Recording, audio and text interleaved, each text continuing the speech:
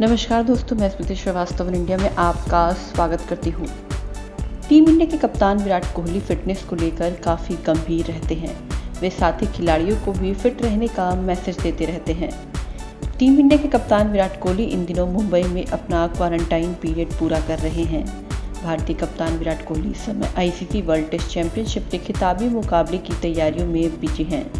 18 से 22 जून के बीच इंग्लैंड में भारत और न्यूजीलैंड के बीच ऐतिहासिक खिताबी मुकाबला खेला जाएगा। कोहली की अगुवाई में मैच। कोहली की अगुवाई में भारतीय टीम को 2 जून को वर्ल्ड टेस्ट चैंपियनशिप का फाइनल मैच खेलने के लिए इंग्लैंड रवाना होना है। आइसोलेशन में मौजूद विराट ने अपने इंस्टाग्राम पर सवाल जवाब का एक खास सेशन रखा, जिसमें वो कई दिलचस्प सवालों के जवाब देते हुए नज़र आए। बता दें, विराट कोहली ने अपनी फिटनेस को लेकर जवाब भी दिए।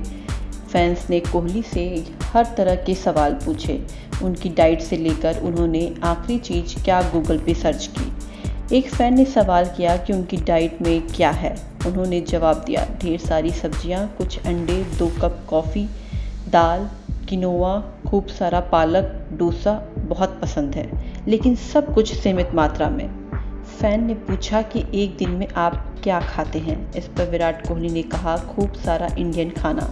जो साधारण तरीके से बना हो और कभी कभी चाइनीज़ भी। बादाम, प्रोटीन बार और फल। बता दें, इंग्लैंड के खिलाफ खराब फिटनेस के कारण लेग स्पिनर वरुण चक्रवर्ती को खेलने का मौका नहीं मिला था। तब विराट कोहली ने कहा था कि सभी खिलाड़ियों को फिटनेस पर ध्यान देना चाहिए। हालाँकि कुछ पूर्व खिलाड़ियों ने इसे लेकर कोहली की आलोचना भी की थी। आपको तभी विराट कोहली की कप्तानी में टीम इंडिया ने इंग्लैंड को तीनों ही फॉर्मेट में धूल चटाई थी। भारत ने इंग्लैंड को टेस्ट सीरीज़ में तीन एक से हराकर वर्ल्ड टेस्ट चैंपियनशिप के फाइनल में अपनी जगह पक्की की थी। विराट के पास न्यूजीलैंड के खिलाफ फाइनल मुकाबला जीतकर वर्ल्ड कप के सेमीफाइनल में मिली हार का बदला लेने का सुनहरा मौका होगा।